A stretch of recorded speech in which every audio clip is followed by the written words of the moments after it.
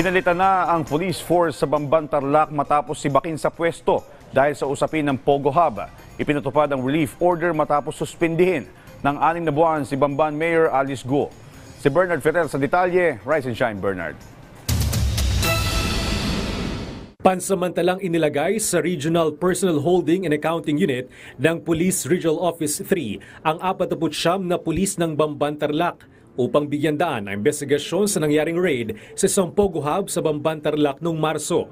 Ayon sa PNP, isa sa ilalim ang mga pulis sa focus reformation at reorientation sa School for Values Formation ng PNP Training Service sa Subic.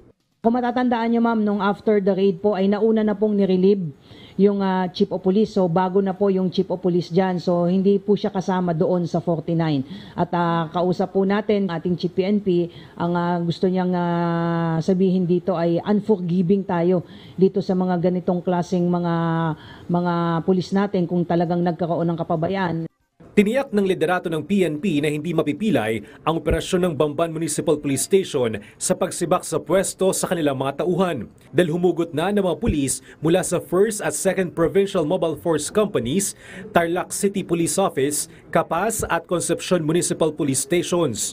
This is not the first time na nag-relieve tayo ng mga pulis at ah, karamihan dyan ay yung mga commanders dahil hindi na lamang yung mga pulis natin na nasasangkot sa illegal na activities, yung mga kapabayaan, yung mga serious neglect of duty, serious irregularity in the performance of duty.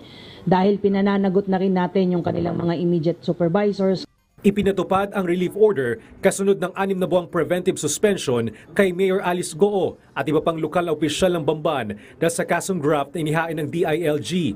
Ayon naman kay Solicitor General Menardo Guevara, pinakamalaking issue na dapat mabigyang linaw ni Goo ay ang kwestiyon sa kanyang tunay na pagkatao at makakatulong pa ang preventive suspension ng ombudsman sa kanilang investigasyon.